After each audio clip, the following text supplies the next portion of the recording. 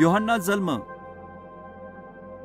पहिल्या काळમાં परमेश्वर आपला लोकच संगे देवदूत व भविष्यवक्ता संगे बोलना पण त्यानंतर चार वर्ष लागून त्यांनी लोकसना संगे नाही बोल अचानक एक दिन जखऱ्या नावना एक म्हातारा भविष्यवक्ताकडे एक देवदूत एक संदेश लिसनुना जखऱ्या व त्यांनी बायको एलिशेबे या धार्मिक लोक होतात. पण तेचले पोरोसर नाही होतात.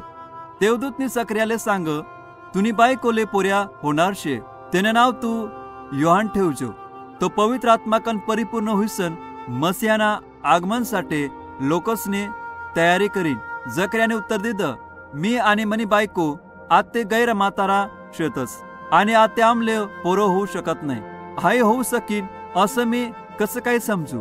देवदूतनी जकऱ्याला सांग तुले हाय चांगली बातमी सांगासाठी परमेश्वरनी मले धाडेल शे तुने मना वचनवर विश्वास नाही ठेव म्हणून पोऱ्या ना जन्म होवा लगून. तुले बोलता येवाव नाही लगेच जखऱ्या मुक्का होई ग्या तव देवदूत जखऱ्याले सोडीसन चालना ग्या त्यानंतर जखऱ्या घर मावना त्यांनी बायको गर्भवती होईनी. जेव्हा एलिशिबा सहा महिन्यांनी गरोदर होती तेव्हा तोच देवदूत एलिशिबाना नातामधली मर्याले अचानक प्रकट होईना. ती कुवारी होती व योसेफ नावना माणूस संगेत तिना साखरपुडा होईल होता.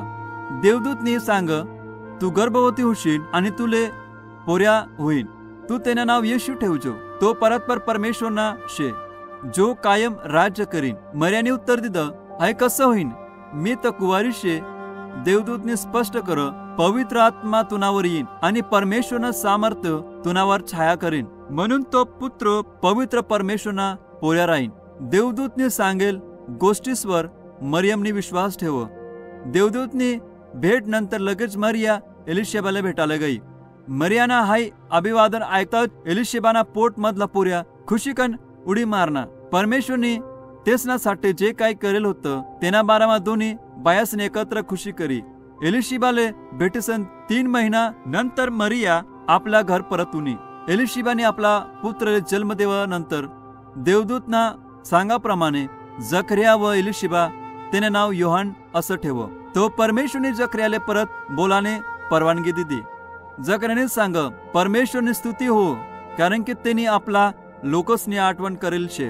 तू म्हणा पुत्र तू परत पर परमेश्वरना एक महान भविष्यवक्ता होशील जो आपला लोकसले तेसना पापसने माफी कशी भेटीन हे सांगेन.